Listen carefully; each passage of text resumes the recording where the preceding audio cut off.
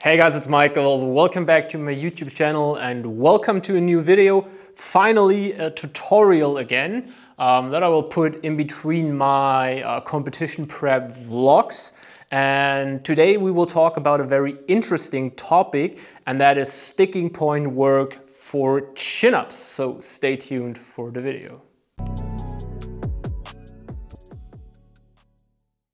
A bit of advertisement for myself. For March, we still have some coaching and programming spots open. So if you are interested in working with professional coaches, make sure to schedule your free consulting call and then we can see how we can help you the best. So let's first clarify where the sticking point for chin up occurs for most of the athletes. Therefore, let's just take a look on the movement of a chin up. It basically consists of two parts, which is the lift off or the pulling part and the closing part. And the lift off part is defined by moving away from the bar.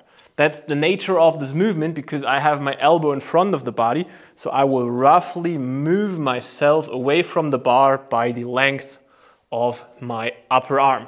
So in this phase, I create distance to the bar until roughly 90 degree elbow flexion. So in this position here, I will have the biggest bar distance. So the worst leverage position that I can be in. And that is why this position here, or around like shortly before or after this position, the sticking point for most of the athlete occurs. Just because the muscles are already a bit shortened, we're already a bit pre-fatigued, and on top we have the worst position when it comes to external leverage. From that position on, we have the second phase of the chin up, which is the closing, where we decrease the bar distance again and then pull as high as we need to um, for that specific competition. For the final rep competition that also I will compete in, it's chin over bar completely. And now you probably ask yourself, what can you do to get better around that sticking point?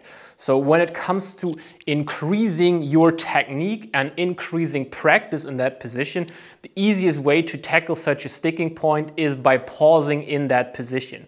By pausing in that position, you just um, spend more time there and you are more aware of your proprioception. That means when you are like this in this position, you create a lot of distance, that position will feel super, super hard.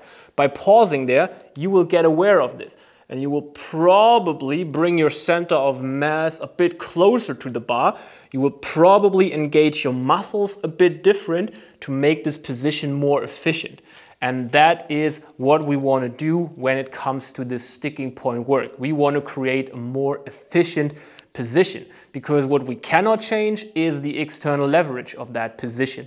That is there. It will always be one of the hardest points of the movement. So what we need to do is to make our technique as efficient as possible to overcome that sticking point.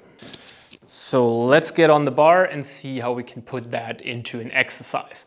The exercise that I like to use and that you also saw in some of my training vlogs is a chin up where we just add a pause at 90 degree elbow flexion on the way up so that we separate the lift off part and the closing from each other. You don't need to spend a shitload of time in that position. One to max three seconds should be totally fine there. So what I want you to do is get into that chin up position, that get into your lift off position, pull until around 90 degree elbow flexion, close. That. Pull, pause, close. And with that, you have a very good chance get rid of that sticking point. So now you probably ask yourself, what else can you do? As I said, this is the nature of this movement. So as you're pulling away from the bar until here and then coming closer around this area, you will always have um, yeah, a deceleration in your speed if it's getting very heavy.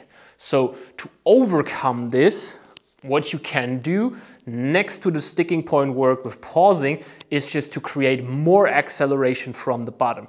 So putting it in other terms, get stronger. And this is not a very quick solution. Um, we keep it today with the pause chin-ups at 90 degree elbow flexion. And guys, thanks for watching this tutorial. Let me know in the comments if you have already tried this exercise or similar exercises and if it helped you to overcome your sticking point. Also, make sure to leave a comment, help this video to get noticed by the algorithm. And if you have any questions, feel free to leave a comment.